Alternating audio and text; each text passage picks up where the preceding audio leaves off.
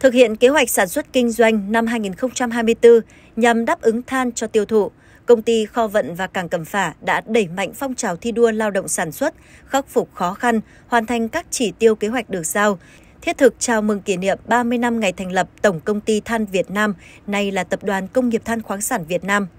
là đơn vị có nhiệm vụ tiêu thụ than chủ yếu của tập đoàn. Kế hoạch năm 2024, công ty kho vận và cảng Cẩm Phả Vinacomin phấn đấu sản lượng than điều hành tiêu thụ đạt trên 65 triệu tấn, trong đó tiêu thụ trong nước 63,634 triệu tấn, riêng cấp cho hộ điện 42 triệu tấn để hoàn thành kế hoạch nhiệm vụ sản xuất kinh doanh, đáp ứng nhu cầu cung cấp đủ than cho thị trường, đặc biệt là than cho sản xuất điện với mục tiêu an toàn, hài hòa, hợp lý, hiệu quả công ty đã đẩy mạnh phong trào thi đua lao động sản xuất, phấn đấu hoàn thành các chỉ tiêu kế hoạch sản xuất kinh doanh. Ngay từ đầu năm đến nay, tranh thủ khi điều kiện thời tiết thuận lợi, các phân xưởng, tổ đội sản xuất đã đẩy mạnh thực hiện các phong trào thi đua lao động sản xuất, phối hợp với các đơn vị sản xuất than, bố trí nhận than sạch từ các mỏ, than nhập khẩu để chế biến pha trộn, đảm bảo cho tiêu thụ.